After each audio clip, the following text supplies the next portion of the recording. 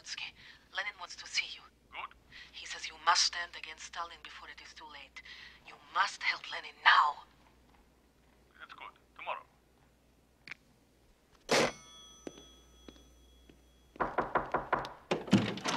Where is he? He's not to be disturbed.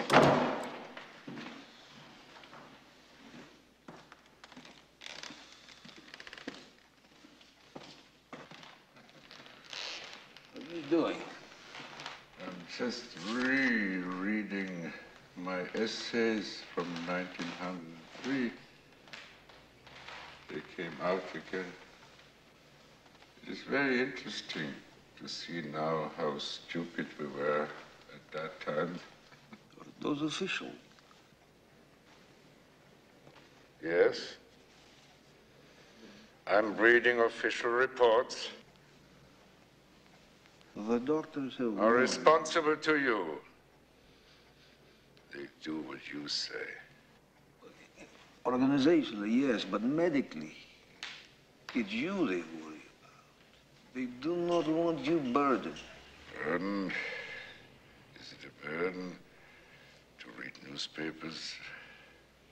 To even talk politics? Newspaper. Yes, real newspapers, not the kind you had printed for me. One single copy for Lenin. Single copies full of good news. What a waste of money just to keep me out of politics. It's to help your recovery. No, to keep me out of politics. so,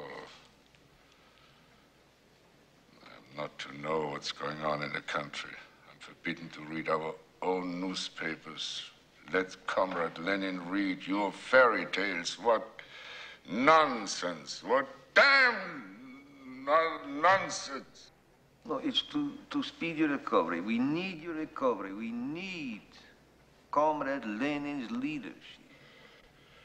How can Comrade Lenin lead if he's denied information?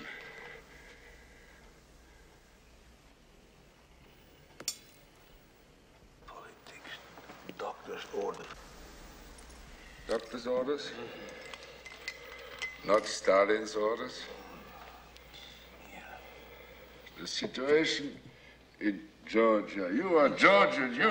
It's all You. There's nothing to worry about. The- Only your health. The. Why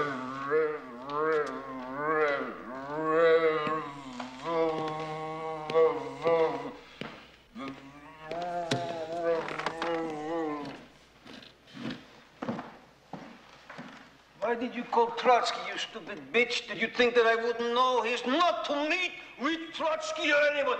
What are you trying to do? To kill him? Pizda! Pizda seven times. Shh.